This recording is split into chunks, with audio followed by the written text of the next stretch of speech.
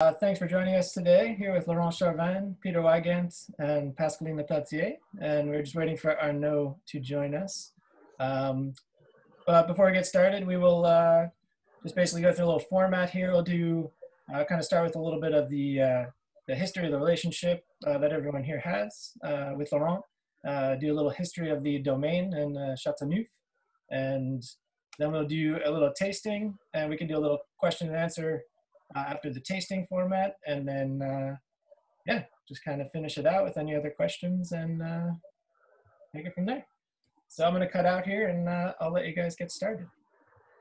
Okay. Well, thank thank you very much, uh, Brendan, and uh, welcome to to everyone. thank you very much for joining us.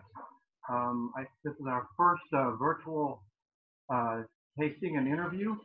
Um, and I think it's going to be very, very uh, enjoyable, educational for everyone. Um, I want to especially uh, recognize Brendan for all of his work in putting this together um, and uh, doing, organizing it so well.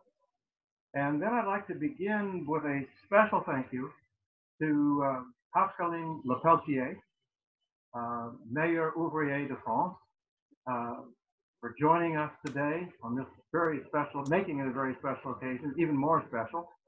Um, great honor and privilege to have you with us, Pascal. Thanks. And um, then I want to turn to, um, well, this is our first, as I said. And um, so Brendan was thinking, who who would you want to have as, your, as the person in the vigneron in the first uh, interview and tasting? And I thought about that for a very brief time uh, because the answer to me is very evident. Um, it goes back a long time. Um, a vigneron with whom I've worked now for nearly 30 years, and starting on the vintage that has now reached 30 years.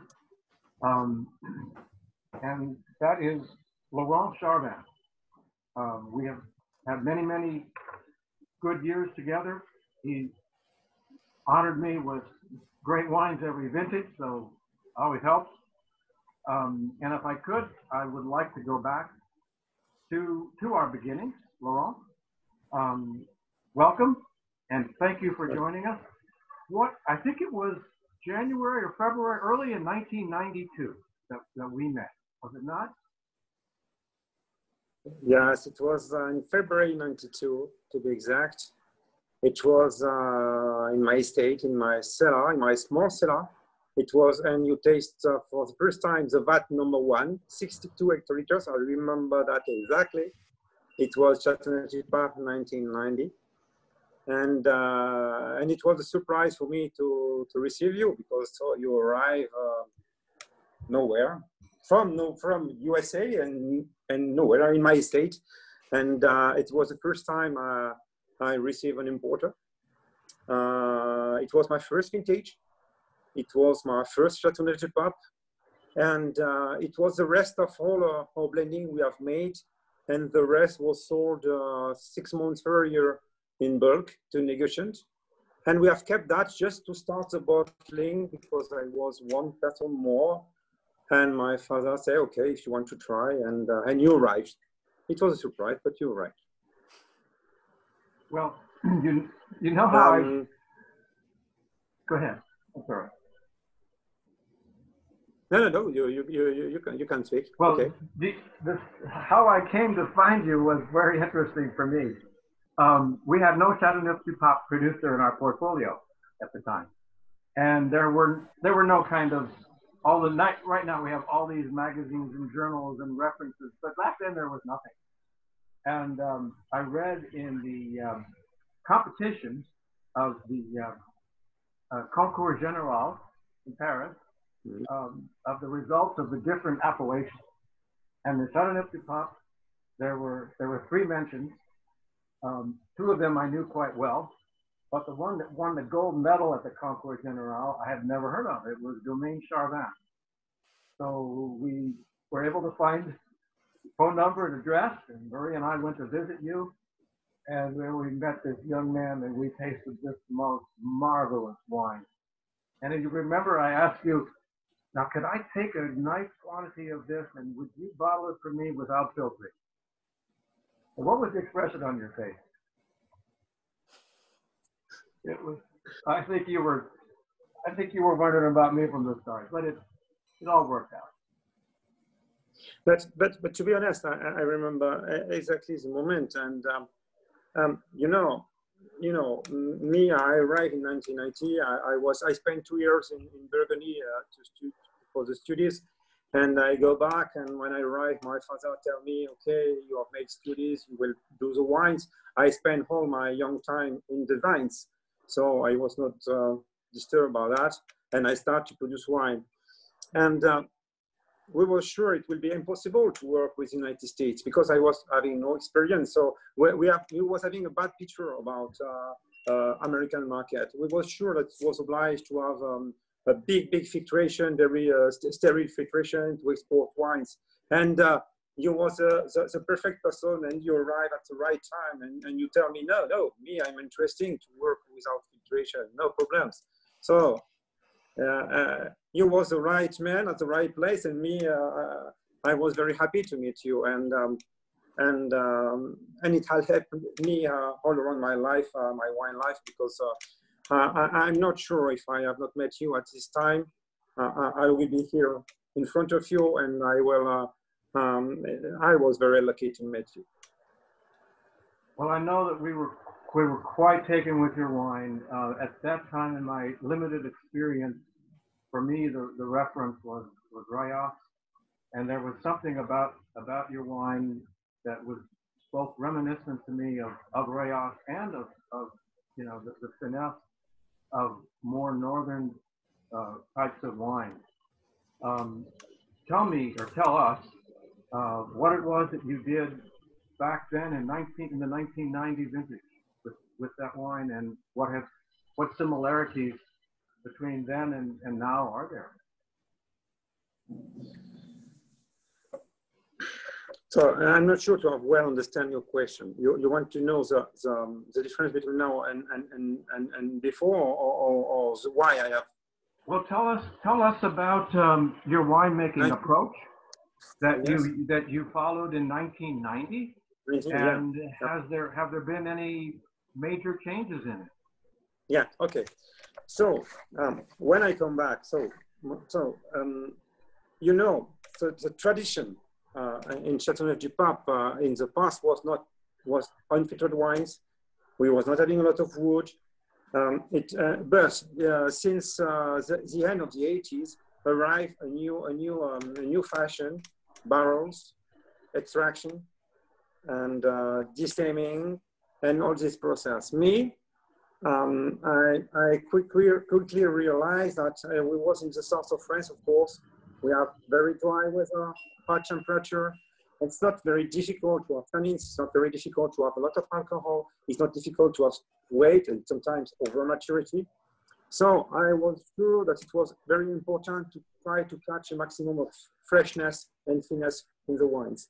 That's why I decided to cut the stems because for me they are very important for the balance of the wines. They give they, help to give freshness. And another thing, when you keep the stems, you're, you're obliged to be very careful in uh, when you make uh, you you can't make really extraction. You make more di um, diffusion or infusion if you want, and um, and, uh, and, and this is the reason why I, I, I have decided with my father at the beginning to to to work like that in the in the cellar. And uh, another thing very important, uh, the vats, no wood. Um, we was having in the past, my father, you know, my family arrived in, uh, in this place uh, where I am today in 1851.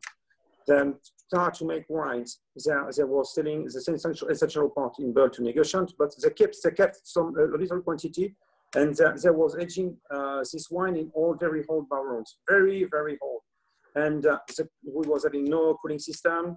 Uh, the, the bath, the cellar was very, very dry, and I was not a big fan about the aromas. It was sometimes maderization. So uh, I decided to, to just keep in, in that. And I tell to my father, okay, I, I, I come back. Okay, we try to bottle the wines, but no wood. And, uh, and, uh, and uh, as I know, as I say before, I spent two years in Burgundy. I have tasted incredible old wines, old red wines. And, but the, the, the, the fashion at this time was sometimes over um, woody wines. So I was not interested about uh, uh, aromas of vanilla and so on and, and the taste of uh, wood. So uh, that's why I have decided to do that uh, when I arrived, and my father was agree with me, and uh, and we have we have started like that, and we have not moved a lot. We we, we continue to make no filtration, and uh, and um, and slowly, and we I I stopped the finding. At the beginning, was finding with white eggs, and after we stopped. So the the, the basic idea that you formulated in the beginning of no destemming, whole cluster fermentation, and no wood is the, has been the trend has continued for the last 30 years. I was totally unconscious about my decision at this time. It was uh, it was a sensation I was having, and um, um, I was sure about nothing except I was very young, so I was sure about everything, of course, because I was very young. And uh, and uh, when you are young, you okay, you believe in you more than.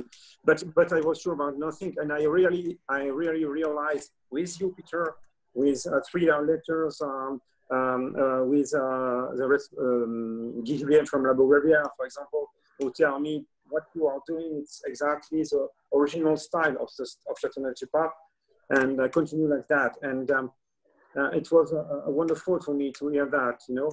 Often I say uh, in French, on est que dans les yeux de sa maman. We are beautiful just in your mother eyes. And uh, you have been these eyes, Peter, because you believe in me before I, I, I was believing in, in, myself, okay? Well, that was easy, Laurent. Um, before we go on, I wanted to make a, a special mention. Arnaud Tronche has, has joined us um, from Restaurant Racines. Uh, welcome, Arnaud. Thank you, Peter. Now, Salut, Arnaud. Laurent, who were some of the people who were formative in your, you know, in in in um, as models to you when in when in your winemaking when you were studying? Sorry, I, I, I, I recall you're mentioning um, that you received a lot of encouragement from Guy Julien. Um, and were there other winemakers who also encouraged you? Other winemaker, not especially at the beginning, to be honest. Okay. Okay. Um, um, you know, it's maybe it's not very. So, so, I don't know if you will well understand what I mean, but in the south of France, it's not like you are um, in in in Alsace or in uh, in Jura or in uh, in Loire.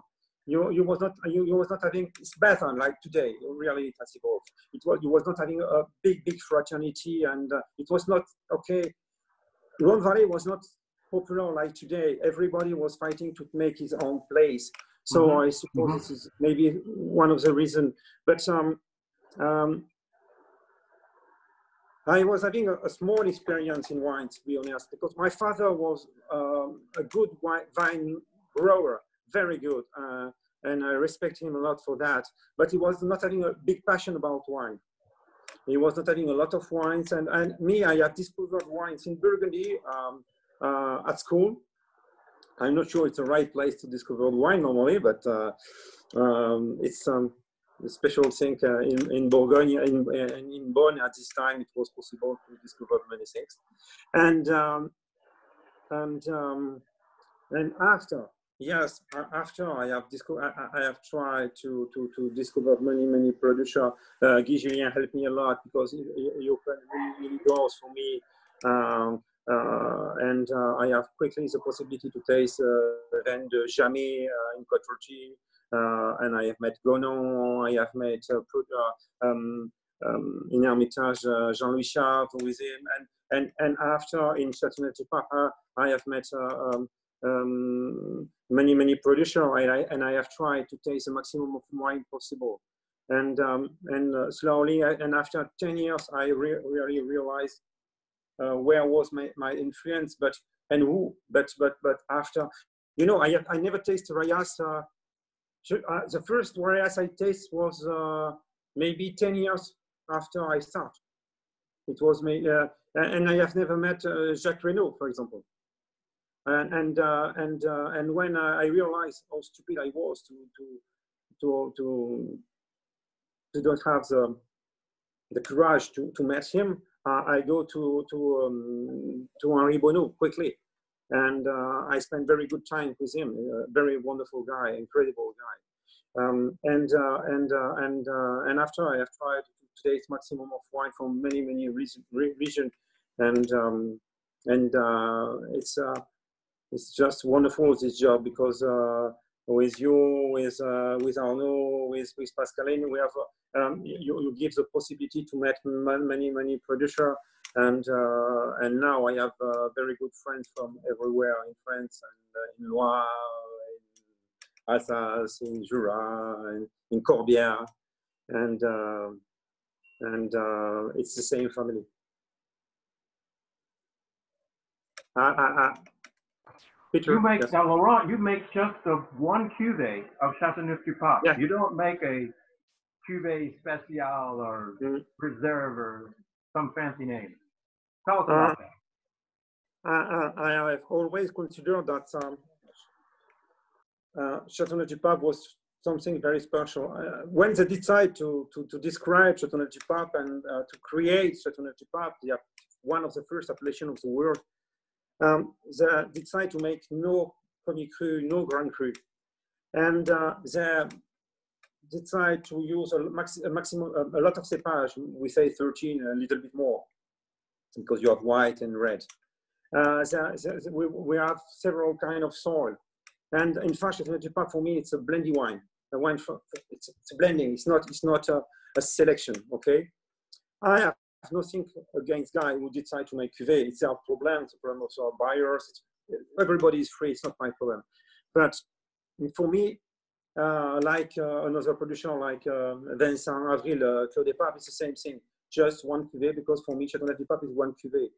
And I, I, I, don't think even if the word are maybe too strong, um, when you make a Chateauneuf du you don't want to make um, a great uh, vin cépage or a great uh, vin pays. I have a lot of respect for vin de cépage, a lot of respect for the, for the pays. But for Chateauneuf du Pape, you, you, you need to have something else. Uh, we can say in French, supplément d'âme, some uh, more complexity, more. It's not especially more rich. So I decide to make just one cuvée uh, and um, and my goal, my challenge every year is to try to to, to catch and to arrive in the vineyard to have the best level possible for each parcel, and uh, and um, and um, with process, with very simple process, um, help me, which help me to to have uh, in the end a, a, a, a very balanced blending. Okay, I don't want to have everything. I don't want to prove something. Um, uh, um, I don't need to prove something when when I make wine. Mm-hmm. I'm, I'm I'm I'm very um, you know I'm not I'm not a jealous guy. Uh, so uh, me I, I, I, mean what does that mean? Uh, an house. I want to produce. I want that an house, not too much, not too much. I don't know if I'm clear. Yeah, now, in the in the vineyard, um, what what approach do you take towards the, your viticulture?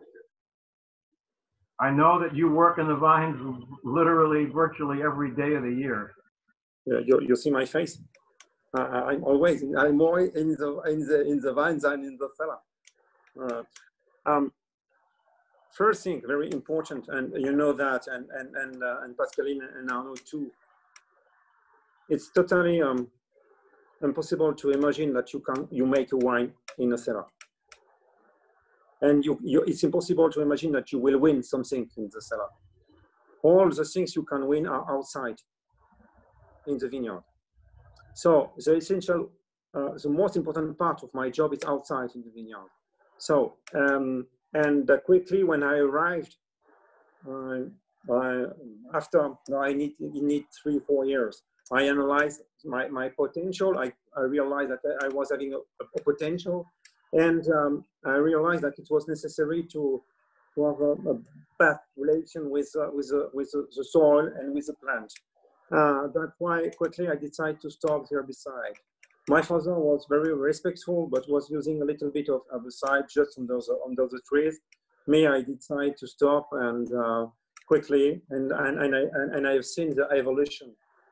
It spent time, but you know, um, in fact, the, the, most difficult thing is to adapt yourself to each year. Each year is really different. So, uh, and um, and um, I'm very proud of my team uh, who work with me because they are, they are very reactive and we work really together. And uh, we try uh, we try to adapt the, our job to, to the weather conditions of the year because the chief is the weather.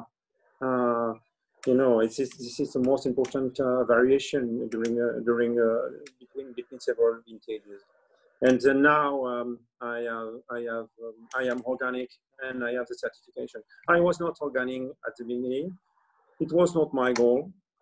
It was more uh, a road of life.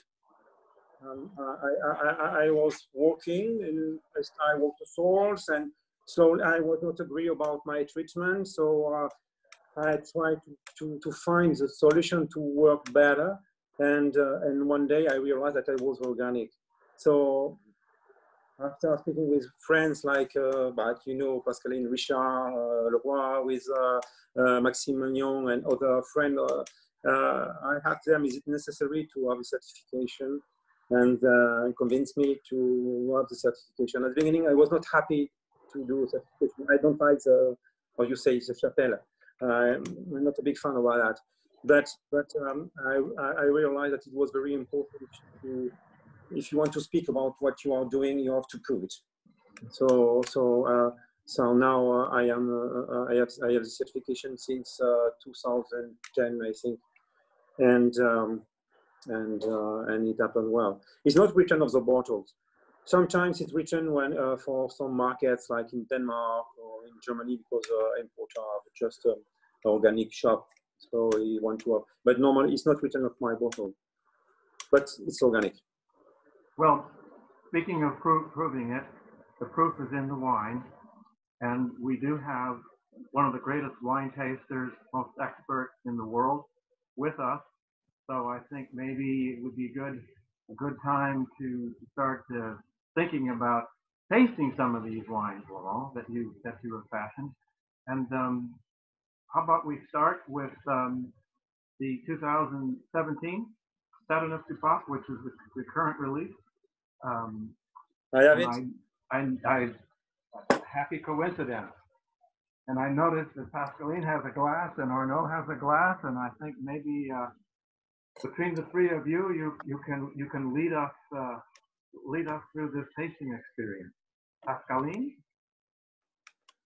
Yeah, yeah, I, will with pleasure. Um, but uh, uh, maybe Laurent, um, do you mind um, talking a tiny bit about um, the, the, different plots where you are located and where the, the Chateauneuf is from, uh, as well as uh, um, maybe just the grape you are working with for some of uh, the some of the attendees that may not. Before, yeah, before the tasting, okay. Just um, bit, just to have a little bit of a context of. Uh, just um, just to situate the estate, um, um, my estate is situated in the northwest limit of the appellation. Just behind me, you can see the hill, and the hill just behind me here is the north limit of the appellation.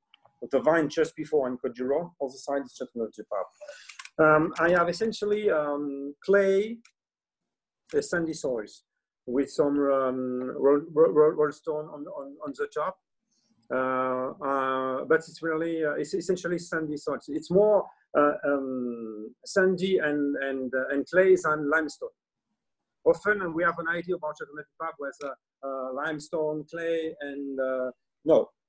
In my situation, it's more sand, clay, and sometimes lemon when you are on, on the bottom. Um, I have, I, I, have the essential part of my, my plot are face north, except uh, um, three hectares face west, uh, but we will speak about this parcel, this plot later because it's uh, for the white, uh, part used for the white.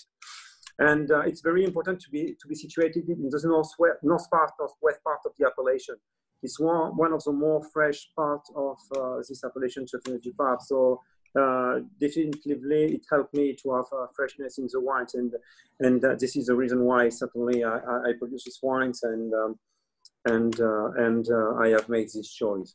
And uh, the varieties Chiffry Grenache. You have in in 17 you are more than 80 percent Grenache. You are after you have Syrah Mourvèdre a little bit more than 5% and Vaccarèse and Counoise okay? It's essentially very old vines. Between 100 years to well, youngest are, are, are, are, 10, 15, but uh, the most part is more than 50 years old.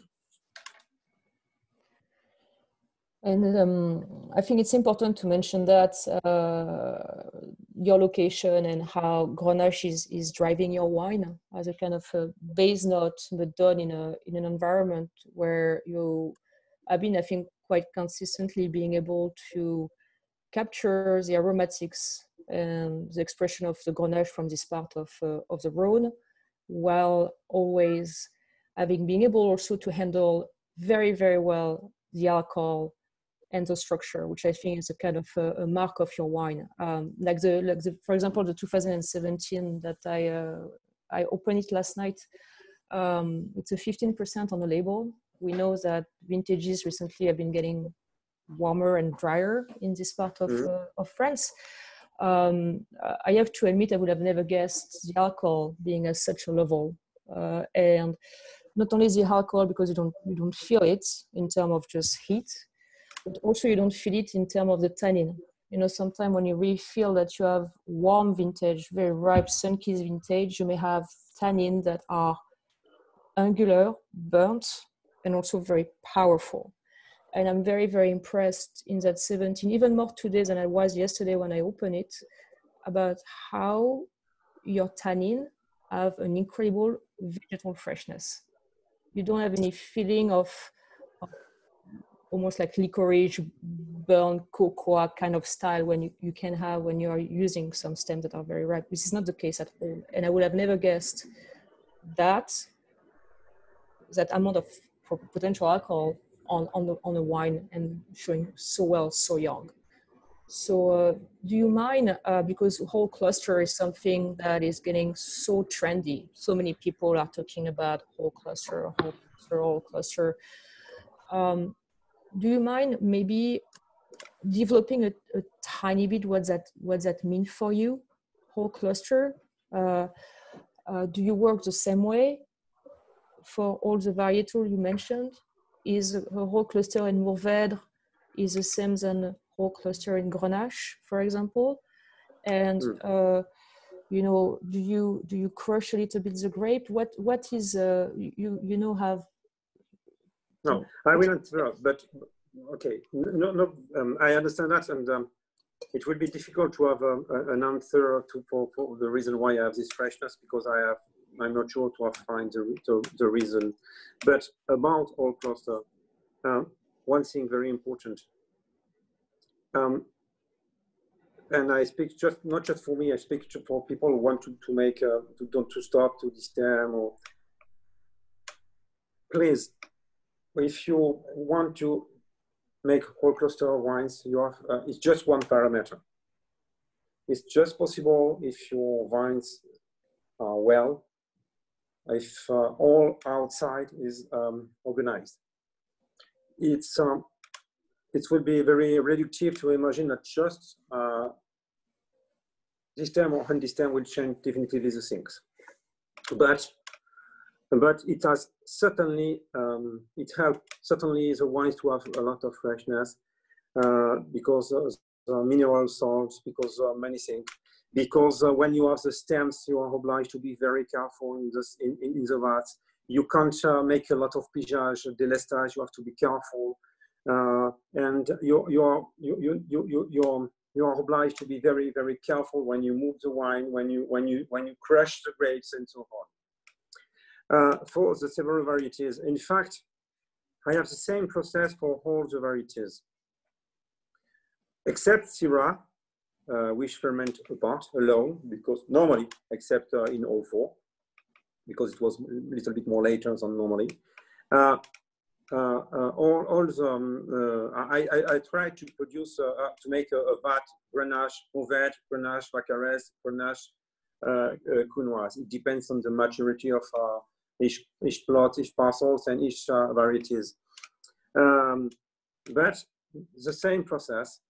The, the, the, the, um, the different thing will be maybe um, the, you know, each day I make a pump over. I, I pump the, the bottom, the liquid part, and I put on the solid part in the vats during fermentation.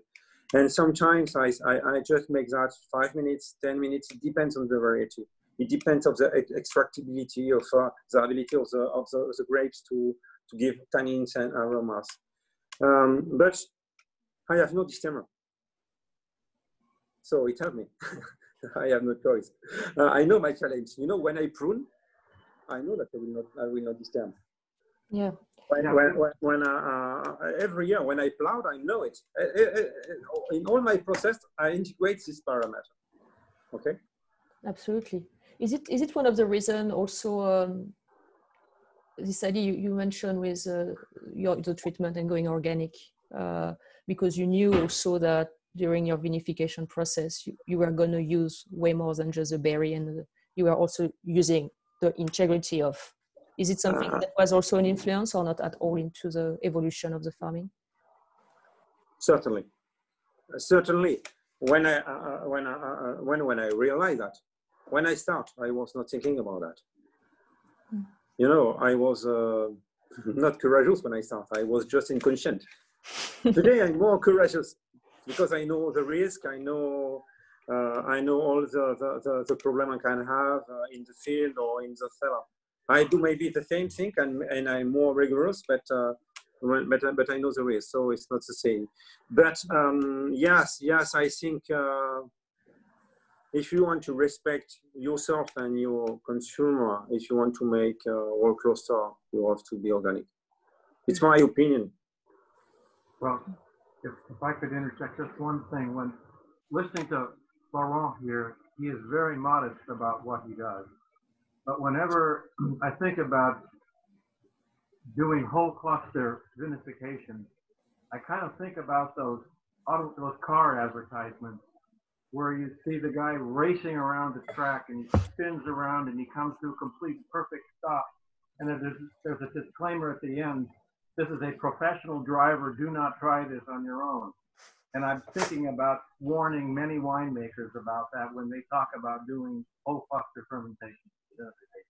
You have to do the work in the vineyard before you can get to that point. yes, I have nothing to say after that. I'm agree. But, um, go on. Uh, thanks for that. Um, going back to the, the alcohol content and the session of alcohol and the full, you know, not destemming, I remember you were saying that you feel like not destemming allows you, I might decrease a little bit the alcohol content. How do you explain that? In fact, one thing very important with the stems, it's like, um, how you say, a sponge, okay? Uh, it, it's uh, sometimes, um, it, it takes a little bit of alcohol.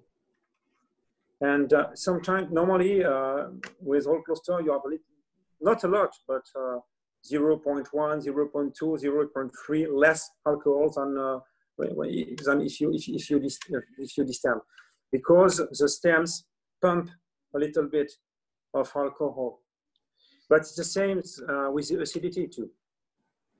Okay, so um, that's why it's um, maybe disturbing because uh, you understand well the influence by uh, of the with the alcohol, but in the same time it's fresh, and in the same time I have lost a little bit of acidity too.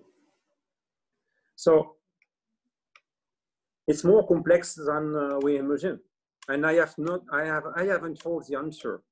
I have this, I, I, I, I am sure about the, the result uh, because, um, you know, you know, when you taste uh, whole cluster wines and well-made whole cluster wines, you have always the same kind of sensation, more freshness, more drinkability, more, okay? So but I don't know all the reason. I'm not sure I want to know them.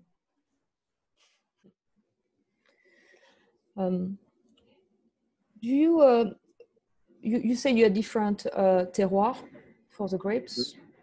Um, can you tell us which, what, how do you, how do you describe the texture and the aromatics you can get from each terroir? And are the cluster uh, very different if they are grown more on, on, on, on limestone or on sand? Do you see a, a, massive difference that are not necessarily linked to the vegetal material? Um, definitively, it's different. Uh, it's more elegant and um, and uh, you have more finesse in, in sandy soil. It's not a legend. It's, it's clear. And uh, you have more structure and more tannins and sometimes more alcohol when you have more clay uh, and, and stones. Um, stones are friends and enemy too. Uh, they are very interesting, especially when you have a very fresh year, because it helps you to have a better maturity. But when you have a hot year, I'm, I'm not so happy about stone, okay? Because uh, you, you, when you have hot all around the day, you don't want during the night to have hot temperature. You want to have more cool temperature. Uh, the sand, it's uh, very interesting for that, but in one, in only condition is to have enough water on, in the on the in the undersoil.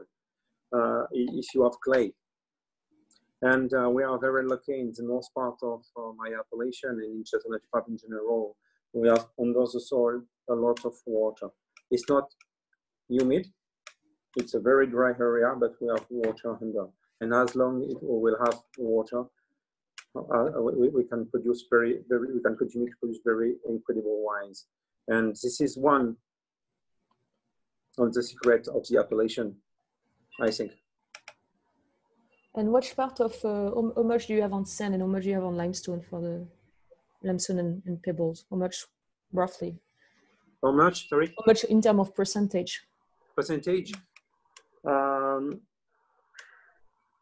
you know, it's complex. I have no soil pure limestone, no soil.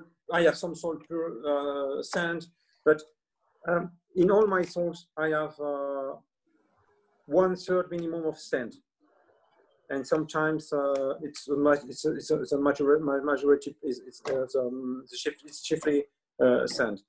Uh, limestone, it's um, it's it's represent four or five percent not more. Okay. Not more. And uh, something important, um, I prefer to put Grenache on sand. I prefer to put, uh, when I have stones and more, uh, more clay, I prefer to put Mourvèdre or sometimes Syrah. Sto uh, uh, um, uh, sand is very well adapted for Grenache. Mm -hmm. Better for Grenache than for Mourvèdre and Syrah, for my opinion.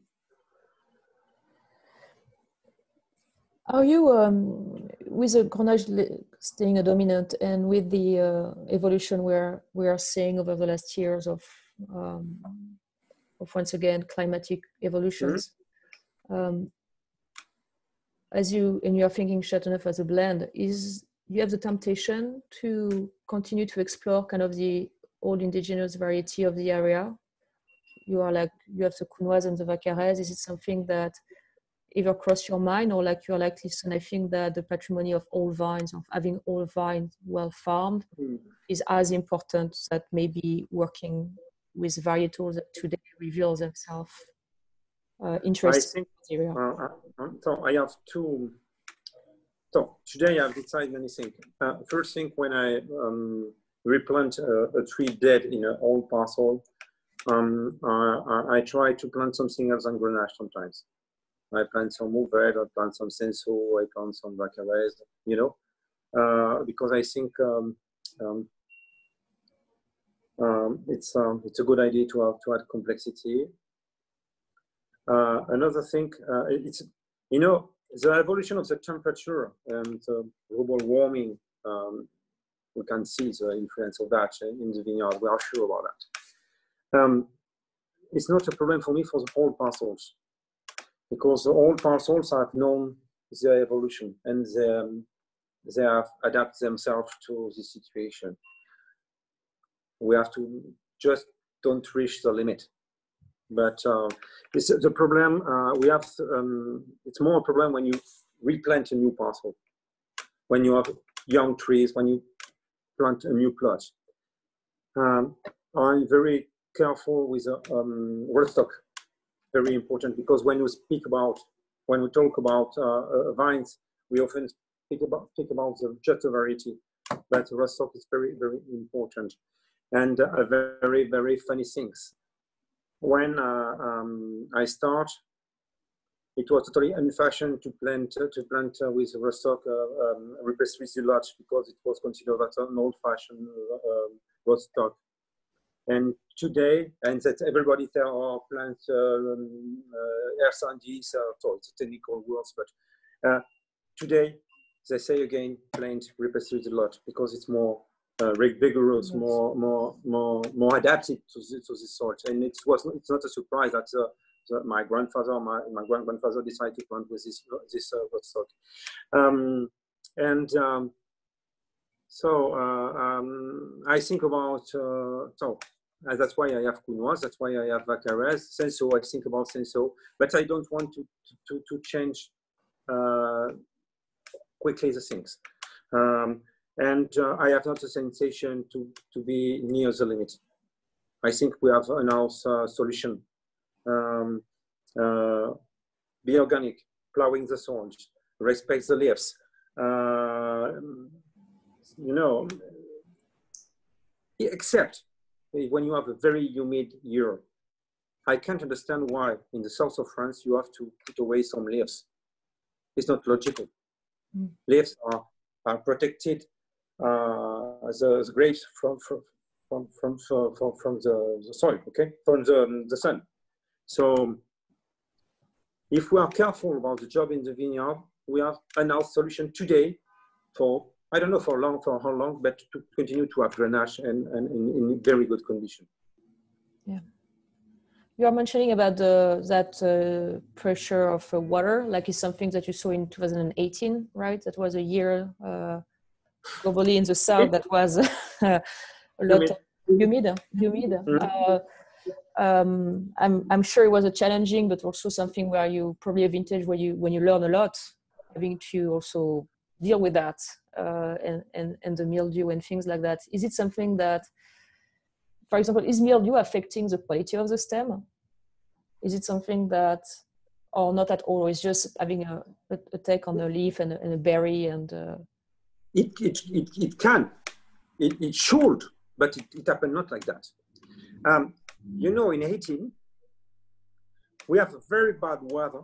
Uh, bad weather for the wine producer is uh, um, 30, 20 millimeters of water every two, three years, three days, three, during, uh, and we have this kind of weather between the end of April to the middle of June. And if you ask me, the 15th of June, my opinion about 15, mm, I was really afraid.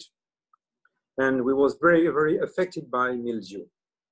Um, it was too early to have rotten berries because it was just green uh, um, ber ber berries, so it was too early, but it was essentially mildew.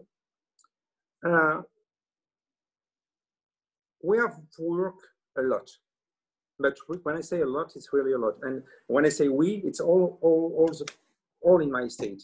It's me first, of course, because I'm the chief, I have to, to be here. But um, it was uh, Jean-Patrick who worked um, with me. It's like a second uh, me, so he helped me a lot. And um, you, you, it's, maybe it's, it's, it's, it's crazy for you, but during in, in one week, we spray three times. I never do that. Um, and uh, everybody has done uh, more. Fanny in, uh, in the office has done the double of work to, to let me more free to be in the, in the field and the vineyard. And we have very well worked. And, uh, and I was remember of um, this, um, about this situation, uh, this, this kind of situation happened earlier. And I remember what my grandfather was doing, what my father was doing, and what I was speaking about. And there was not plowing at this time. So we're not moving the soil because each time you move the soil, each time you, you the, the humidity go, go, go out and, and it, increased the phenomenon. So, and, um, and after something very wonderful happened, the weather changed, and we have dry weather, a lot of wind like today, uh, mistral between the middle of June to uh, the middle of July, no rain. And, it's an, it, and, and, and, it was announced to, to, to change totally the, the, the vintage. And uh, we have a, a, an incredible and beautiful rain uh, in, in, the middle of August. And, um, and uh, we arrived to a very, very good result in the end. It was, you know, each time when I was picking the grape, I was surprised because I was having a little bit more than I was expected. And, uh, and, uh, and uh, each time I say, oh, no, it's not possible. It's not possible. A problem will arrive. It was so difficult before. It happened so well now. It's not possible. And it happened well. And uh, we have no troubles in the end. The balance is perfect in the wines. Um, we reach a, a, um, a, very respectable level of alcohol. We have 14.6 in, in 18. No, no problem of maturity. Uh, the tannins are here. The color is here all, all, all, all the parameters are okay, and the balance in the wines is incredible. It's I like a lot this vintage. It's uh, it's uh, like a, a 14 with more richness, more depth. Yeah, and, I recall Laurent when I visited you later that that summer. You had told me in, in a, just a little over a two-week span, you you sprayed, I believe, eight times and you've used up your entire copper allocation for, for the year under the organic uh, requirements. Um, you were spraying on Saturdays and on Sundays. Yeah. Um, and what? Is it okay? Can you hear me? Um, and yeah, I think you told me that in the final analysis, what percentage of your crop did you actually? You only lost about. I can't remember. It was like 10% to mildew. Sorry, I have not, and I've not, I have not a problem with the noise. I have noise and I have not understand. At the in the final. yes. after all of the work you did, you only lost a very small percentage of your crop in 2018. Isn't that true? In the, yes, in the end, I arrived to uh, around 25 hectoliters of Chateauneuf du Pape. And uh, the maximum is 35, but for my estate, the maximum is 30. It's uh, except in 19 we have 30 32 hectoliters, and that's why it's uh, well wonderful. But uh, when I have 30, I'm very, very, very happy. And uh, and um, it was a surprise for me. And uh, in Côte we arrived at 30, and um, and the the, the, the um, I, I, you know I not I have not really realized that I have a control for the organics uh, control uh, company, and they control me. And uh, just before the harvest, and in the end, they take the, the, the, pencil, they write, and they say, okay, you can do the total production of the appellation. I say, oh, what do you mean? You can, you, I, I, I have seen your parcel, maybe you have 35 hectoliters. I say, no, no, no, it's not possible. And, and in fact, uh, she has not uh, seen all the parcels, but in some parcels, she was surprised and she was surprised and proud.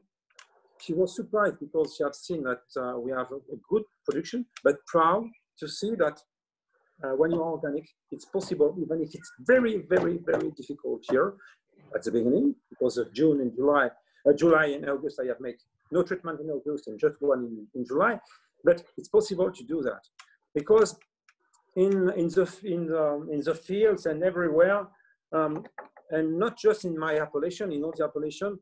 Uh, some people start to say, okay, if you have problem with mildew, it's because uh, the organic guy. They are not do well the treatment. They don't just use copper sulfate. They don't use uh, they don't use a systemic product. So that's why they have mildew. no, no, no. And uh, we have a discussion like that in du Pape. And uh, I, I, I, I, say, stop, we stop this discussion. Uh, come with me, see the parcel. And uh, when it's difficult, it's difficult for everybody. It's not because you're organic or biodynamic or I don't know what, that you have more problems than the others. When you are organic, when you are biodynamic guy, when you are, you have to know to do very, maybe to do very well a job and maybe more than the others because you have no security, okay? But it's possible. And, and, and uh, and it was uh, for me a very important thing. And um, and uh, uh, but it was not the first year. Remember all two. In all two, we have uh, an incredible storm, five. 580 millimeters of water the 9th of September. And we arrived to produce something and very good Chateau Park because I have tasted recently this wine and it was a big surprise for me, but not a lot, but it's possible. And you know, I speak again with uh, about uh, Guy Jullien from Beaugravière. He always tell me, le terroir parle, the terroir speak. After one year, two years, the terroir speak. Even if it's difficult, you're not alone. You know, the soil, on the soil, the plant, all is here. If you capture the terroir. Yeah, faire confiance au terroir. Um, you um, you just told us that uh, you did the blending for the 18, right? Yes, yesterday morning. Yesterday morning, uh, we start at six and we finish at uh, ten. Can you um, so can you uh, tell us why you are blending like that so late? Because there is different approach with blending. You, so you are telling us at the beginning you, you may ferment Grenache with Counoise or Grenache with Vaccarèse. Hmm. Uh, is it because of just practical size of vat or things like that? With uh, uh, and then All that, and then you that- blend also. all Yes. this parameter, my, my captain, all this parameter. But in fact, so I make, I, I, I- do co-fermentation. So I have often a pure, a pure Syrah and uh, Grenache uh, Mourvèdre, Grenache Vaccarèse, Grenache Counoise. Uh, In the end of them, the alcoholic fermentation and malolactic, if all happen well, and normally it happens well, very important thing, I can speak about that. We just use indigenous yeasts and we had no ferment for, for malolactic. Uh, it happened alone and well. Um, um, I, I, I, have in the end between two, two or three vats. This year I was having three vats of 90, in, in um, 18, 90 hectoliters. Um, I have racked this uh, three vats in uh, July last year Mhm. and I put each vat in 90 hectoliters vat. I have not blended these vats because I want to go, I want to see the evolution of each vat. Each vat. In fact, if, if, uh, if this is, uh, if I have decided to pick the grape at the same time, it's because I was considering that I was having um, special combination, uh, the same uh, level of maturity, and it was interesting to have these grapes them together. Okay, so I want to see this evolution um, during two winter.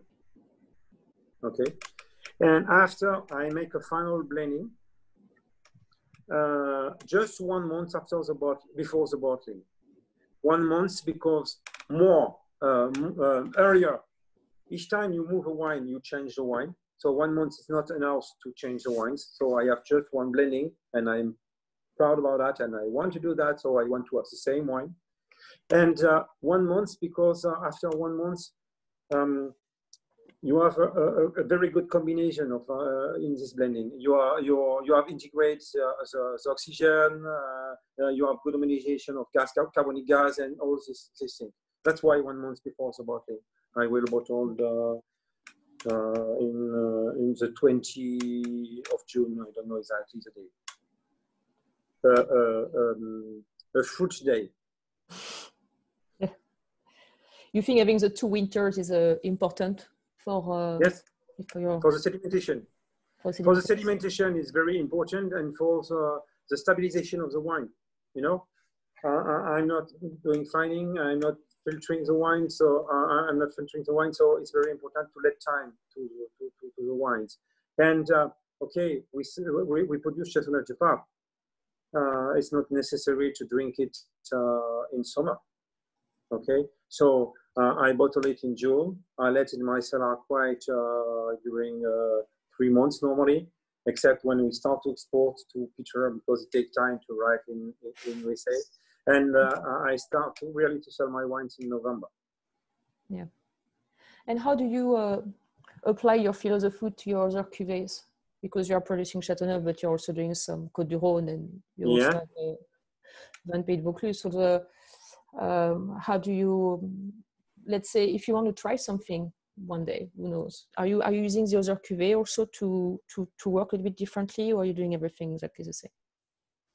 Wow, you you all understand exactly what I have done with the Vendée Mm. And uh, the Vendée, le Vendée Pays uh, à côté is, uh, is a, it's, a, it's, a, it's a Peter and my baby. Because in fact, uh, uh, it has a special story. Um, I respect a lot my appellation and um, and Gironde too. It's difficult for me to make experience with uh, with this appellation because I have the sensation to be too small for that. Okay, sensation is the appellation is so important for me.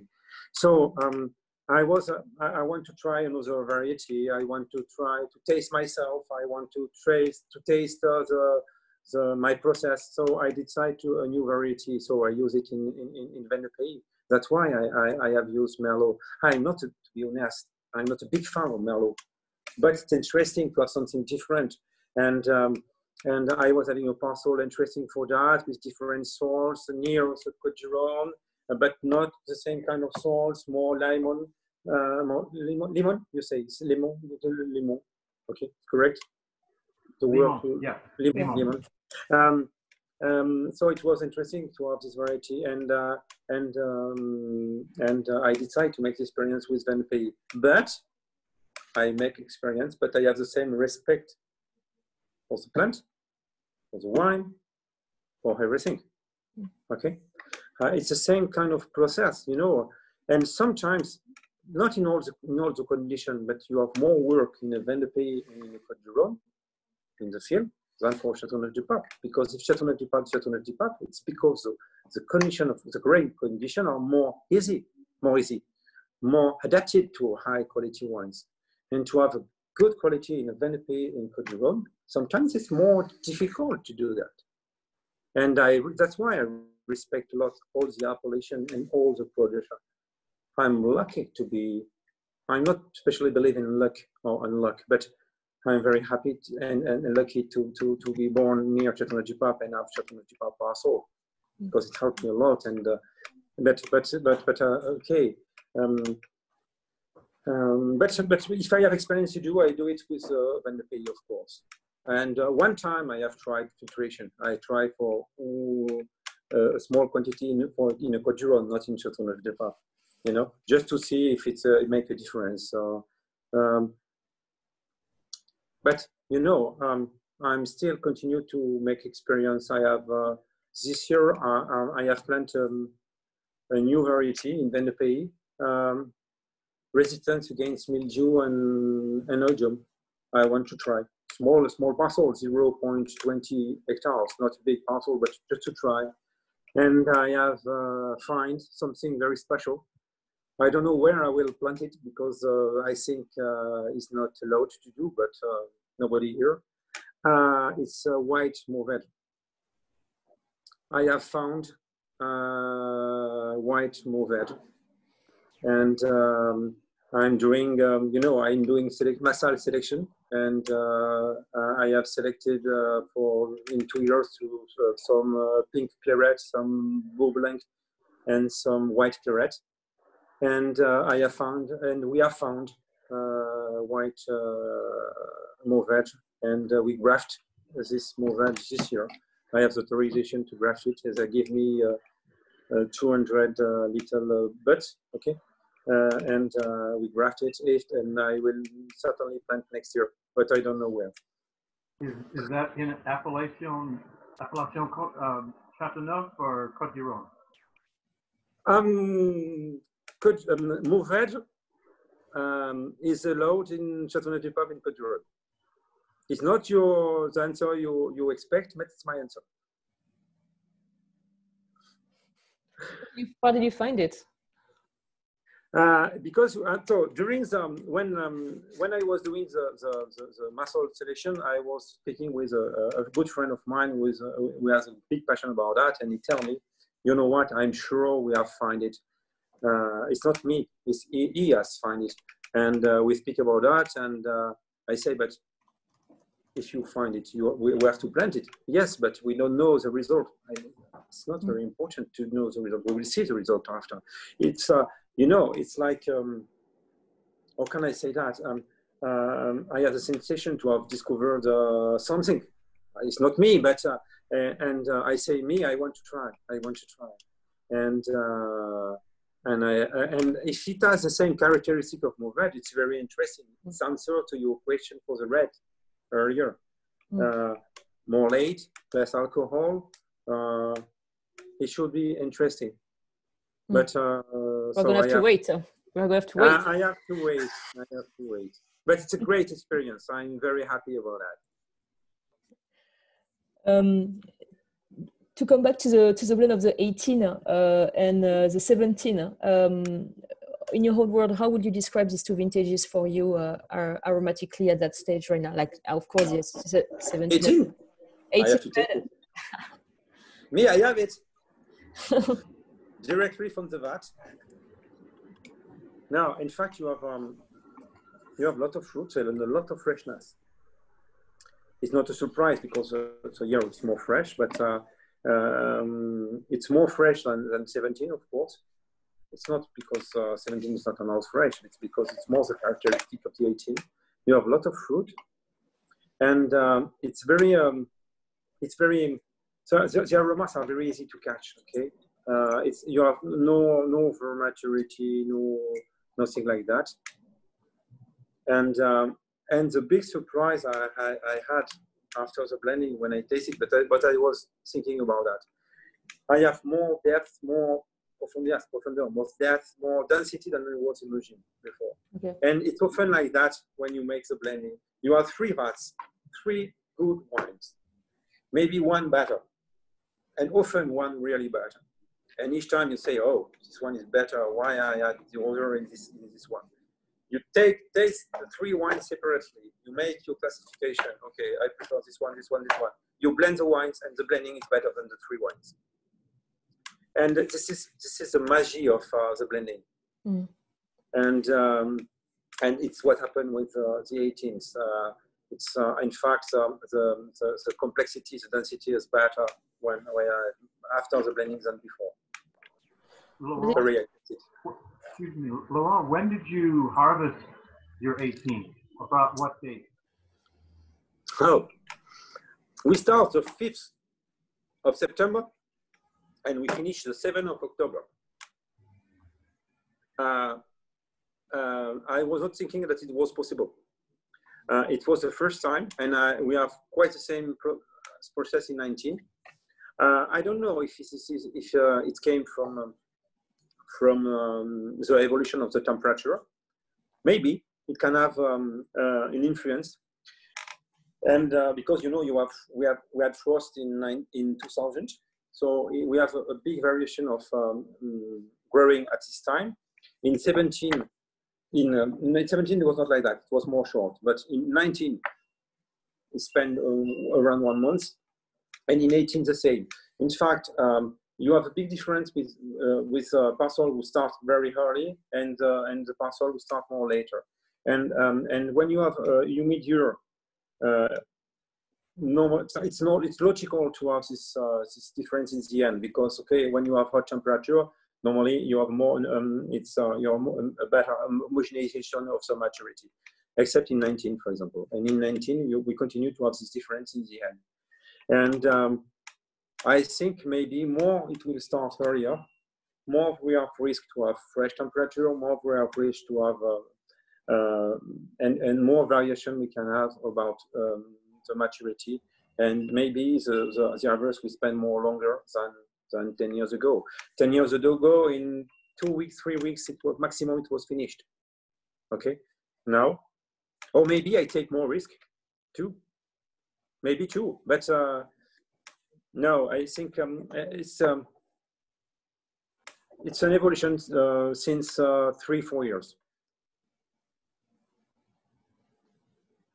And so for 17, the harvests were more compact? Or was the Yes, um, for a very simple reason. We have a very, very, very bad flowering. We produce uh, less than 20 hectoliters of du and Châteauneuf du Pape and maybe 30 hectoliters of vin de pays per hectare. Uh, and uh, the weather condition was very, very hot.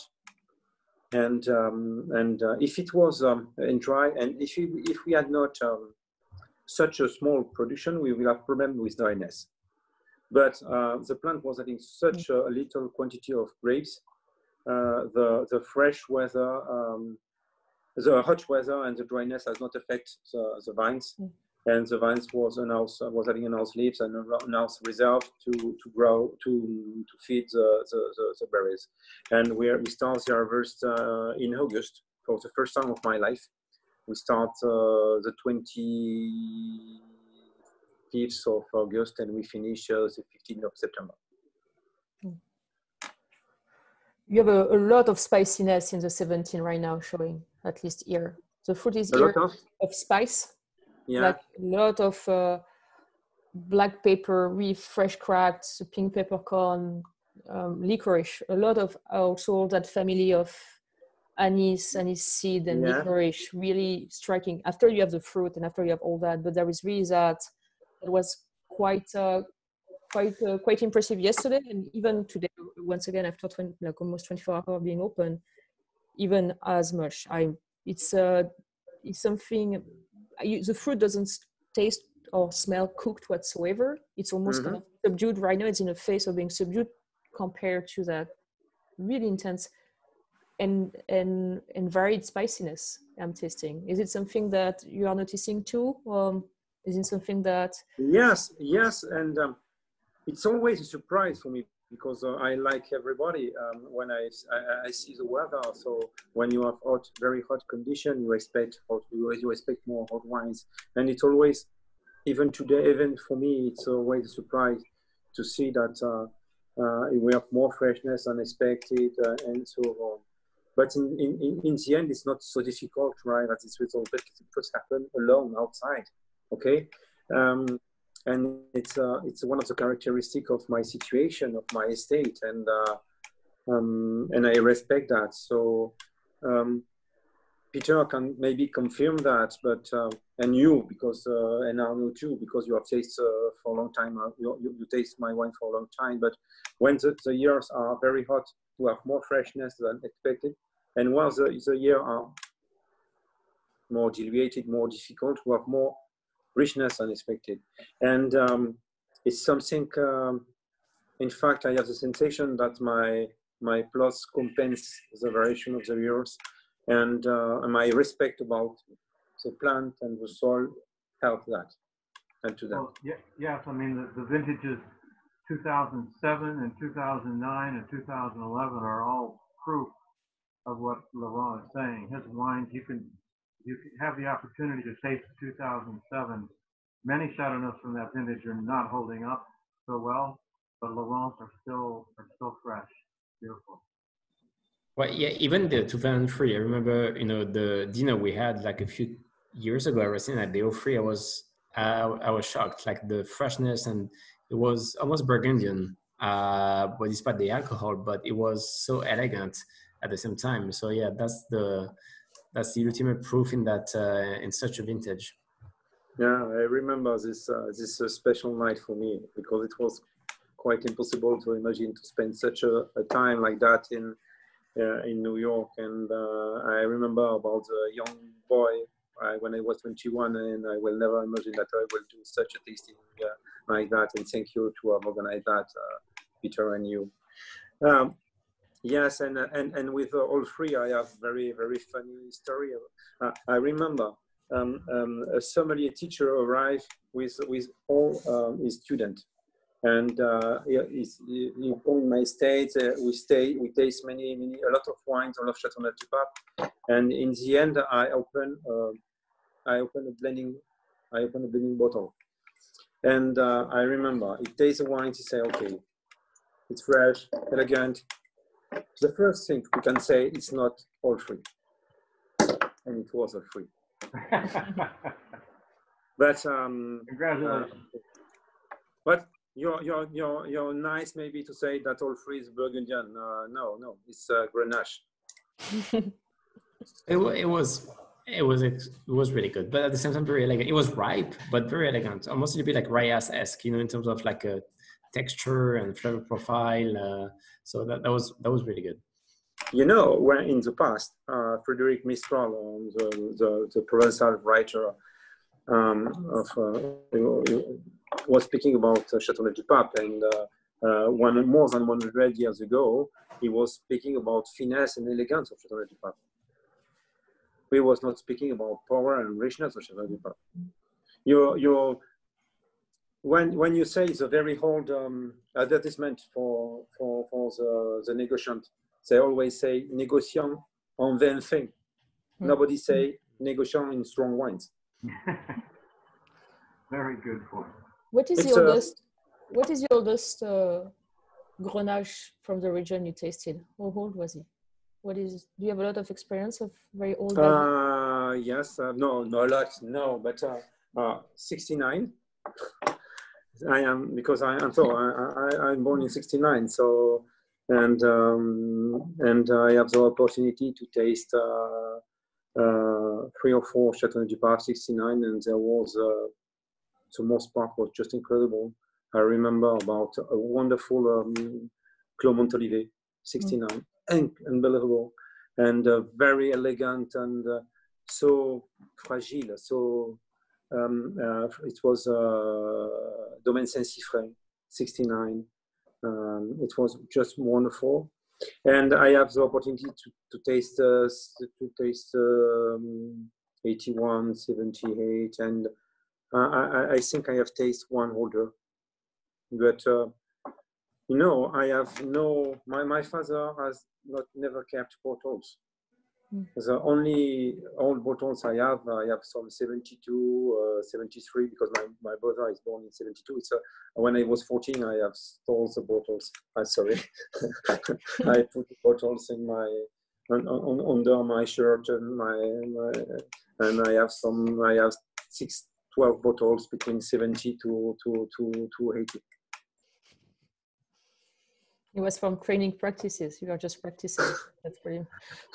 Um, but but you know um, there is uh, there are some reason why there there, there, are not a lot of uh, very old uh, Grenache Chateauneuf du Pape. Um, in the past, most part of the wine was sold in bulk, not in bottles. And uh, um, a reason why Chateauneuf du Pape is uh, a technical reason why Du Pape is so popular, is more popular today than than 40, 50 years ago. It's the evolution of the cooling system, uh, the control of the temperature in the cellar, and uh, it's quite impossible to, keep, to, to, to keep the wines uh, in the south of France without uh, humidity uh, and, and, and, and, freshness. And so we need to, in, in the system. So um, when you want to be very careful with SO2, with uh, with the evolution of the wines, and you have to, to control the temperature. And uh, uh, um, it helps a lot. Uh, it helps us a lot, really. While, while we're on tasting, discussing the 2017, I have a, a question for Arnaud um, from a from a viewer. Uh, they ask your advice, Arnaud, uh, what you recommend to to have with the 2017 Chateauneuf du Pape Domaine Charvin. It's, been a little while. I think I tasted with you, Laurent, last summer. So it's been a little while and it was even more primary, I would say, than it's probably now. Uh, but, you know, like, like I would say, like any young Chateauneuf, you need something to, um, to hold up to the, you know, like uh, to first the alcohol content as well, but the, the, the fruitiness of, of the wine and everything. So honestly, I would just go with something like you know very simple, with some like green meat, uh, green vegetables. You know, um, don't try too much because again, it's like such uh, you know like young wine, young wine, but like uh, also like kind of like primary and, and again with some a little bit of alcohol. So yeah, we'd probably go with like a green meat and like green vegetables, something easy. You know, no no spices, no anything. But probably Laurent's more can we, can we say a little bit more uh, about that for the for the pairing but yeah that, that would be my you know my, my easy easy way to go Now I see that, uh, Pascaline, you have a white wine in your glass. Laurent, you do too. Tell us about it. Ah là là, um, that's so. It's 2018 White Chateau Neuf uh, from from Laurent. Um, it's just awesome. it's just so good. So I, you know, I think um, whites from this part of, of France once again are not necessarily the wines that people are are craving for spontaneously unless you really uh, have an experience and it's and I think it's a, it's a little bit of an issue uh, because there is a, a, certain misrepresentation of what wine from the southern Rhone can be uh, when they are done with the right varietal and vinified with the right way. Literally, what you are talking about. Uh, they are can be some of the most complex one in the world. And right now, this 18 is showing so great, so young. So I would like uh, to tell us you to tell us a bit how you are making that. It's Clairette, which it's a grape I really I really like. It's a it's a grape I've been focusing more over the last I would say three four years, especially in the aging potential of Clairette, Clairette and Bourboulenc uh, being two grapes that I I'm fascinated by uh, in terms of their ability to to handle a certain level of alcohol and a certain weight, a certain unctuosity, yet able also to be extraordinarily fresh. But the freshness is not necessarily expressed by the acidity. The freshness comes from something else. And they, they, they are wines that I think, and Arnaud can also, because we Arnaud has been a fan of southern white uh, from this part of France since a while. There are whites that are never what the guest is necessarily asking about or asking us, but when you start and when you put them the right bottle in front of them, it's a, it's a game changer because once again, when it's done well, young, it's delicious, and that 18 is fragrant. It's there is this beautiful floral aspect without any heaviness. It's pure white peach. It's textural, it's unctuous, but it's not heavy. There is no feeling of alcohol whatsoever in the back. You have a tiny bit of phenolic, it's really fantastic, but as well, it's going to be tremendous in five or 10 years because Clairette's aged very, very well. So uh, I have to say, opening that last night, same thing opened last night, I was like, wow, that's an awesome bottle of wine from also vintage that people are considering. Very, very tricky. So maybe talking, uh, that's first I, am very very impressed by this white. Um, so maybe talking about white this Clairette rose right? Mm. Clairette rose and bourboulenc uh, why why uh, why is this what is your relationship to this grape? Why is this grape? Because it was not something you you bought that you bought that plot right also. Um, and uh, and yeah and, and congrats that's a really beautiful bottle. I remember how excited Laurent was when he got that plot of Clairette Rose.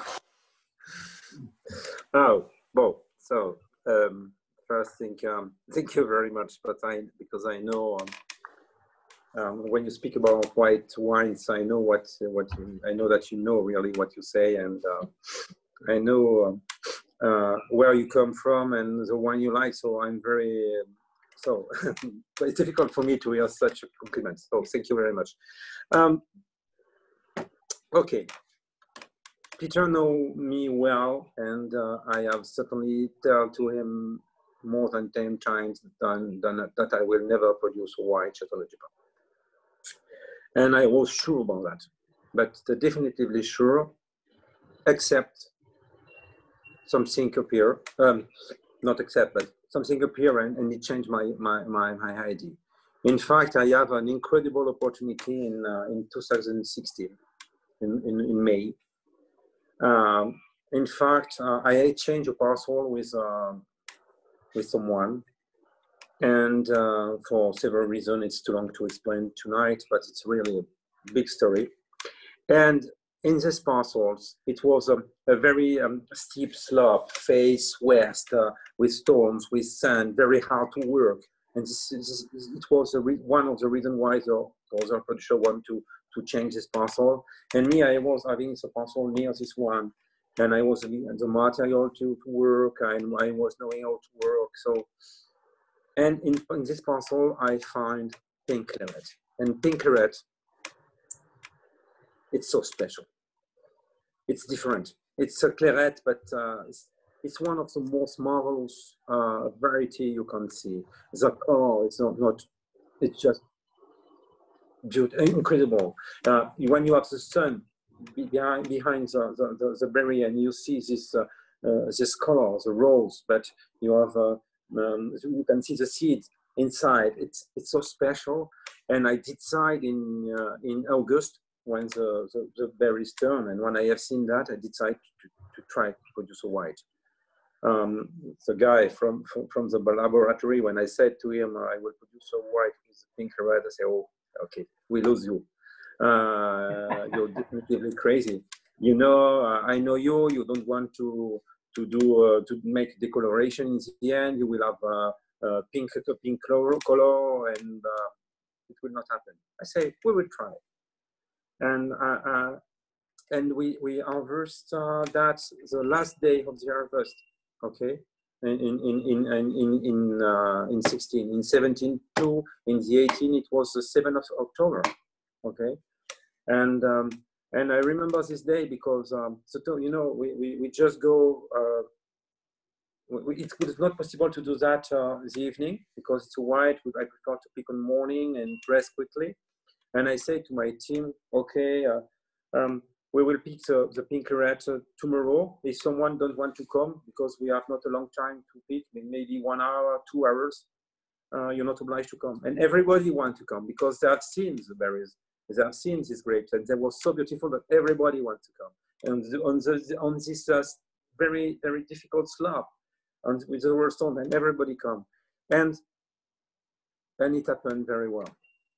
And, uh, um, and uh, and uh, and I have rediscovered something, and I have um, maybe maybe it helped me to understand why my red was fresh too, because as you say, it was it's not the acidity, it's not the pH. We have not a very good pH for white.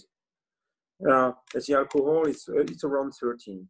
It's uh, it's a very good thing because uh, pink um, pink red and and Bourboulenc are, not doing a very very high level of alcohol. So we can you can we can reach the, the perfect maturity without having a, a, a, a too high level of alcohol. So and it happened well. And uh, I, I try to don't uh, move too much the wine. I, I try to be very careful. I control the temperature for the fermentation. The alcoholic fermentation happened very well, and so on. So I, I fall in love with uh, pink Clairette. That's all.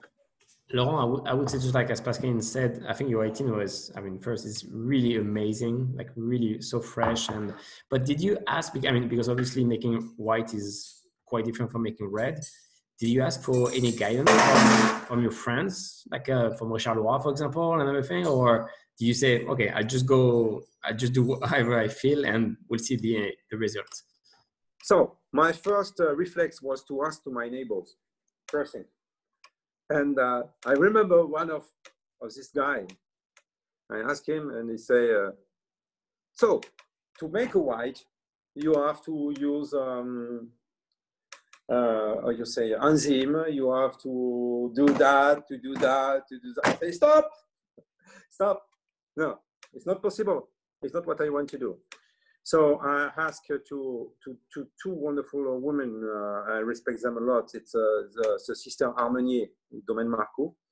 And I asked, I asked them all they was doing and they gave me their opinion and I was more open, really more open.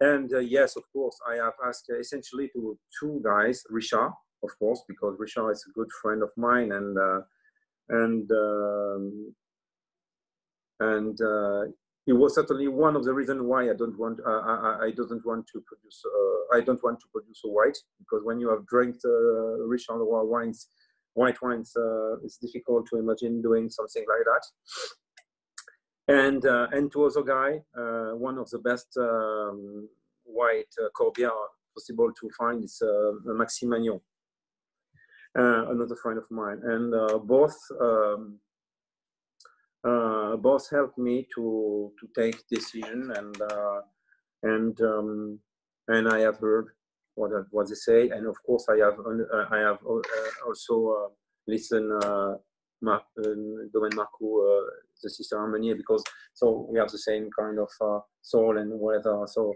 it helped me a lot. I have taken this decision to bottle not too late, earlier, because it's a small, small um, uh, continent. I produce uh, less than five hectoliters in, in, in, in, in 18. So you do roughly what, 1,000 bottles. So do you get a white wine, but do you want to get more um, vineyard like, and do you want to increase, maybe beside the wine Mourvèdre, or you go like this? Alors, alors, a good thing for Peter if the market uh, is more easy in, in some times. I have 10 hectoliters of white in, in 19. Okay, so double.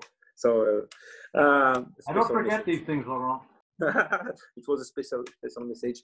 Um, um, yes, I have. That's why I am doing the the massal selection. I, I, want. I have uh, the opportunity to find a, a parcel uh, without vines in Châteauneuf-du-Pape uh, near my estate with the same kind of soils, and and I I decide to replant with Roussanne and Bourboulenc and Clairette. Uh, no, no Roussanne. Um, pink, uh, pink Clairette, white Clairette, and and and uh, Bourboulenc. No Roussanne. I don't want. You know, you have a lot of very good wines of Roussanne and Châteauneuf-du-Pape.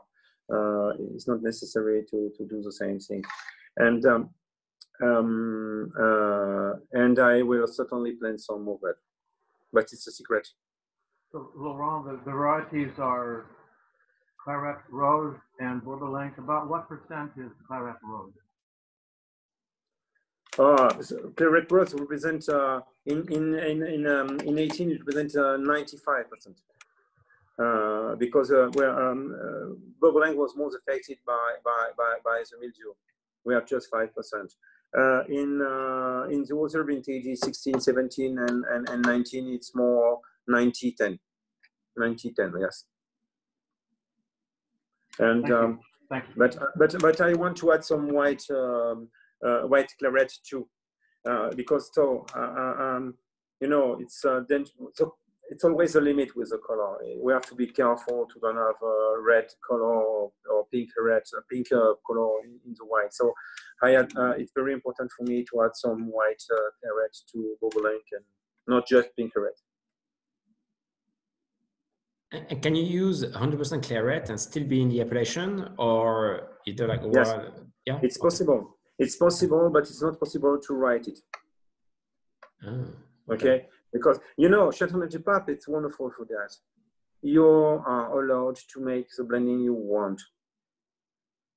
You're not obliged to respect like it's a pity for the, it's a problem for the Côte du Rhône. I'm very disappointed about that.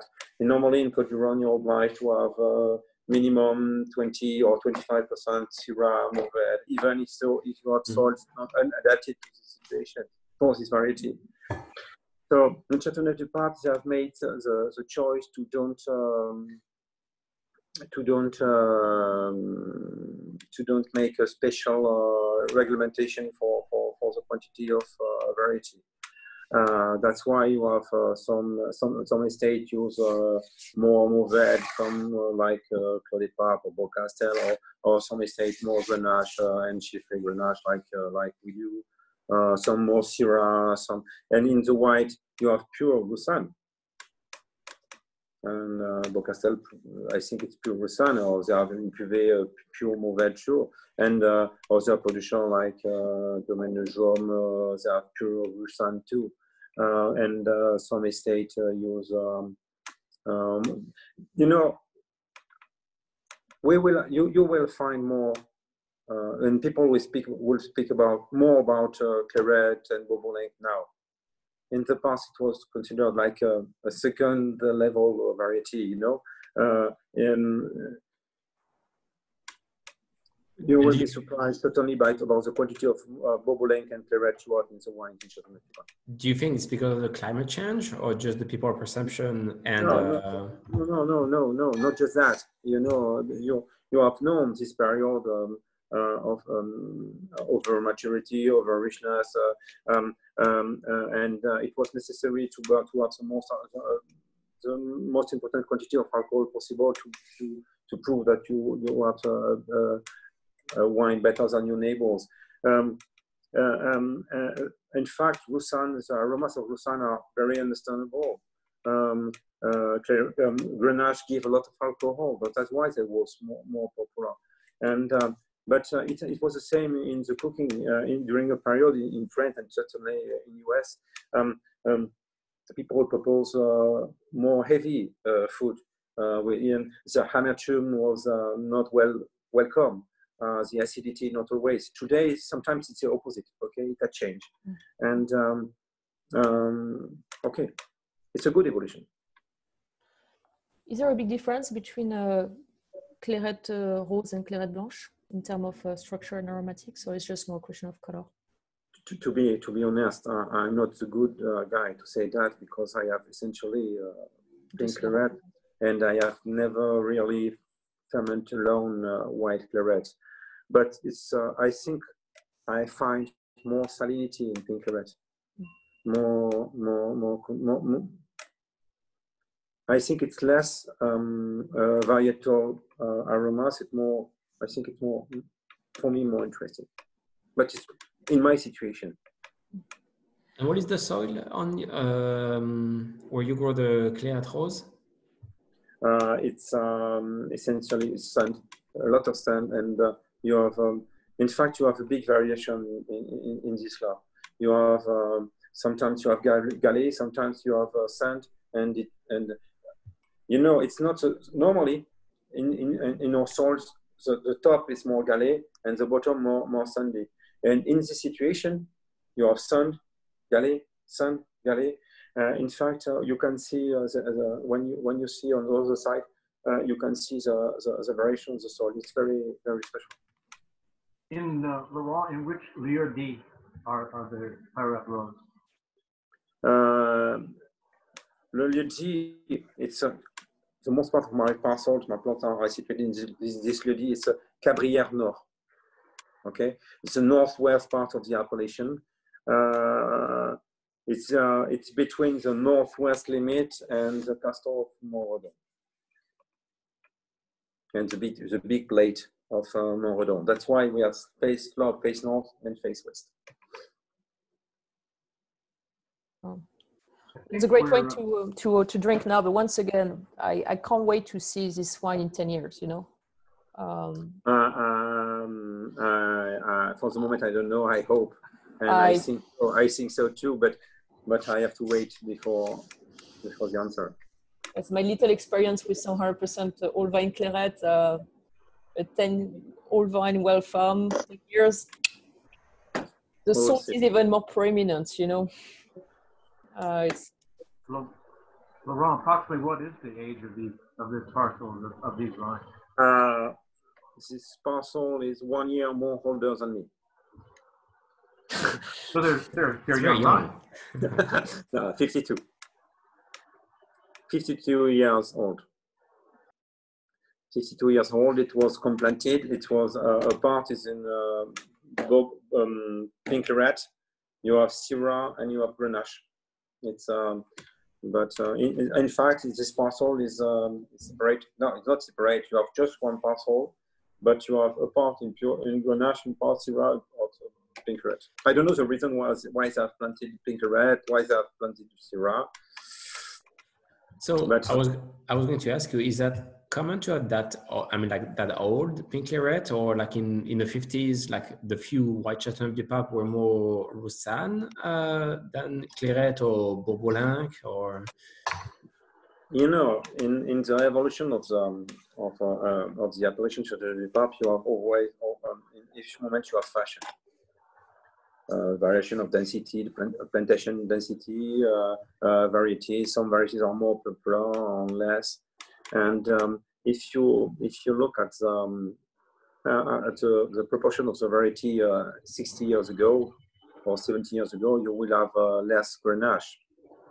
Um, and um, and um, in, during this period, um, people replant uh, Vaccarèse, some Counoise, and, and some Pink uh, to, to balance uh, the Grenache.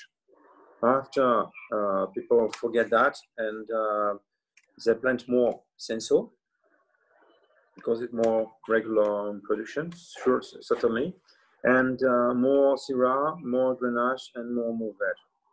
Now, uh, with the global warming, with uh, um, with the evolution of the market too, and, and, and the taste too, uh, more and more um, people are thinking about other varieties, and uh, uh, we you, you you find more new plantation of uh, Clairette maybe, but Clairette, Beaujolais, uh, uh, Counoise, uh, and Vaccarèse are very very popular at this time. We will see. We will see. Well, I, I think that we we've worked in. I'm sorry, my my. I have a dog. We hear that. I have a plane and a dog. You, you there is a plane.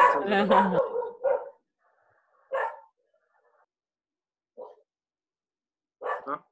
Peter. Peter. I can't hear. Okay, I'm sorry. Okay. I think we've worked in um, questions from viewers, but if your viewers have any more, I think now is a good time to send them. Um, and I just wanted to thank especially Pascaline and Arnaud for joining us, lending their, their expertise and all of their good questions. Um, and of course, Laurent, for all of your time and, uh, and just uh, incredible knowledge, experience, and talent uh, from which we all benefit so much. Let me Just see. one thing, please. One thing. Yeah. Very important. If I can do what I'm doing now and what I have done during the last years, it's because you were here, Peter. It's because uh, Arnaud is here to propose my wines in the restaurant. It's because Pascaline uh, can propose uh, the, the, the, same kind of wines uh, in the restaurant and, and, and, and speak about these wines. And uh, I'll never forget how important you are, all, because um, um, alone it would be very difficult. Okay, if you have if we have nobody in front of you just to say to you that what you are doing is good, it's not possible. So thank you very much.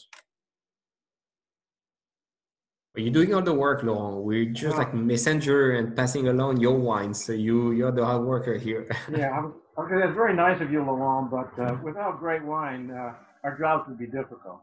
Yeah, the job is pretty easy. You when you, you have to. I don't know. I don't know. I don't. I never considered my that my job is difficult. No, but it's superb. I have to say the the, the, the quality, the consistency for the price is spectacular also, which is something that we don't talk about, but like the price, yeah, uh, true. what we have in a bottle is, is, and from everything in your, in your range is, is top notch. You know, as you said, you, you care for, for the Vin Pays uh, the same way you care for the Chateauneuf and you mm. can, and for the us rosé, at, the, yeah. at the restaurant is amazing to be able to propose to offer this kind of wine you know by the glass to so many people and at, at a very, very fantastic fair price. Uh, so bravo for that because it's not necessarily the trend everywhere, you know. So yeah, speaking of rosé, your, your 2019 rosé is fantastic. Uh, mm. yeah, yeah. But um, you know, um, um, I'm very happy to hear that, and I I'm not traveling a lot, and um, uh, it's not very easy for me to realize that. And uh, and my last trip in New York and uh, this incredible tasting in the restaurant Arnaud and and and Pascaline. It was uh, it was uh, just uh, an incredible moment for me because uh, I never think about that, never. And one of the things that we showed when you were there was was also not just your Chateauneuf du Pape, but your superb Cote du. Um, and the rosé made me think about that. Um, those of us who know your wine so well know what a secret that Cote du bouquet is. Um, and I've had the great pleasure of tasting an old vintage of it that we thought for sure were was Chateauneuf du Pape. It turned out to be 1995 Cote du. Uh, I think we just have one last question about somebody asking about the 2001 vintage. Laurent. How do you feel Yeah. about the 2001? 2001. Yeah. Uh, it was uh, uh, one of the most easy year uh, for wine producer. It's just um, it's like 1990, 16, 19. Uh, it's uh, all happened alone. Okay, uh, in the vineyard, no troubles for the fermentation, no troubles, and uh, the balance is here. Yeah, I, I remember the freshness of this wine, and um, uh, I always like 2001. Always, uh, it's one of my favorite uh, vintage. It's difficult to have a favorite vintage when you have one producer because so each each year has a, a special thing for you. And but all one uh, is is very very very very interesting. Yeah, and uh, and very easy for one producer. Well, as Guy Jullien told you, in every vintage, the terroir speaks. Yeah. And not only in the lesser vintages, but in the great vintages too. And what's remarkable about all your wines is every year there's a there's a unique expression of the terroir in that particular period time, that particular vintage. Yes, but at the same time, uh, some vintages are more easy to produce, yeah. and uh, and uh, and some vintages are not are, are less popular than others. You know, if you compare 99, 98, and 2001, everybody will tell that 2001 and, and 98 are really really, really better, and but 99 is one of my favorite vintage, an incredible vintage, an incredible balance, and, yes, and um, um, but all one has this um, particularity to be um, um, to be easy every, all around the time and um, and and um, and uh, everybody um, analyzed this vintage like a great vintage and all the parameter was green all, all was green for the light was green for this vintage. So uh, um, but all one is well yes it's one of the very easy year and very I like this vintage yes definitively. And just maybe give us an update quickly uh, about what's going on right now in the vine. Sorry. Yeah. Now, 2000, what- what's What did you do today in the vineyard, Laurent? How are the Today? wines? and how are the vine? Yeah. Uh, today I have um, I have plowed. I have um, how you say attaché lie Tie. vines. you tie tie. the yeah tie Uh, the yes, with, with uh, rattan. Mm. With rattan. I have used I have learned this uh, this process with a good friend of mine, uh, uh, Jean Gonon in Saint Joseph. He has learned me this process because uh, last year I have planted some Syrah in échalas, and uh, I will be very interesting to know to to do this process. Um, uh, we are doing ébourgeonnage. I don't know the, the term in English. Ébourgeonnage. De- De-shooting, de-budding. This okay. Um, ébourgeonnage um, now, and uh, we we are always uh, controlling um, the disease to see uh, if uh, mildew, germ, or black rot arrive. Um, at this time, we are a lot of wind, so it's very good because it dries the soil, it dries uh, the situation because it was humid uh, the last 15 days uh, it would be certainly necessary to, to make a treatment uh, to spray with uh, copper sulfate this uh, week, this uh, end of this week, in the end of this week, and we try to control the, the herbs, the weeds. Uh, we plowed and we cut, or we use sometimes uh, pick, you know, um, under the under the tree. But, but you did suffer frost this year also, which is I think Yeah. important. Like when we talked like a month ago, like it's like a Uh, little bit unusual in the region, right? But it was it can always uh, happen. Um, you know, um, um, the problem is more and more the, the, the vines uh, start earlier. And the, this phenomenon is not just in the south of France, and it's maybe less important in the south than in the north.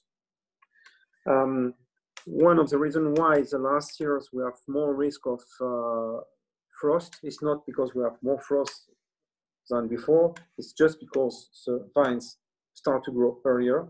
So it's normal to have some frost in March and it can happen in April. Okay. Me, I remember one time in May. But when uh, the vines have not has, has not start when the frost arrive in March, it's not a problem. Okay. The problem is when uh, when all start, and this year it has start very, it has start very early. In my situation, for me, it happened not so bad because um, I was a sensation. I was quite sure that we will have frost. I, I decide to in March, in November last year, to bottle the wines a little bit earlier than normally, and to prune a little bit later than I, am doing uh, every year. And um, when the frost arrived, 10 hectares of my vines was not pruned.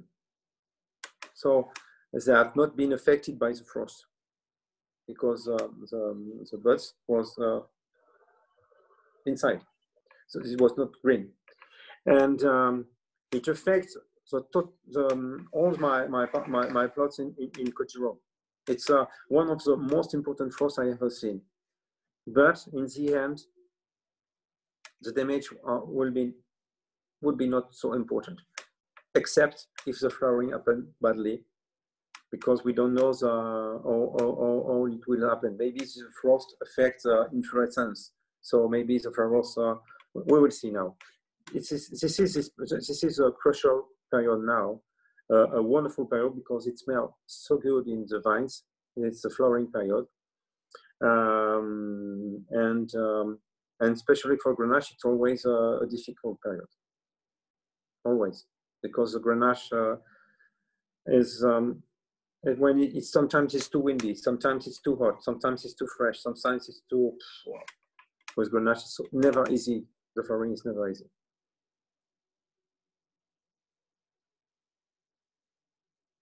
Um, so okay. we need we need a good vintage, okay? We need a really good mm-hmm. vintage. So we're going to finger cross no, no. that there will be a great flowering and some you, wine. You, you, you, know, we will have it. You know. I have no doubt with you. You will. no, but you know uh, what uh, a famous wine producer uh, always say. Uh, our friend uh, Richard Leroy always say, "My best vintage vintage is next year." That's really Richard. well, and with you and Richard, there's a lot of truth to that. Thank you very, well, very much, Laurent. Thanks a lot, Laurent. Yeah, thank you, Laurent. Merci, c'est moi, merci. Non, merci. yes. Uh, yeah, thank you so much, uh, Laurent, for being here and hosting uh, with Pascaline and Arnaud and Peter. And uh, we'll be doing some more of these uh, for Weygandt Selections, uh, so stay tuned for some more videos and uh, some Zoom chats. But uh, yeah, we're about coming up on two hours now, so I think this is very enlightening, very interesting, and I personally learned a lot, so I hope all of our viewers did as well. And uh, until then, uh, I guess we'll see you next time. Thank you, Laurent. Bye bye. Merci. Bye.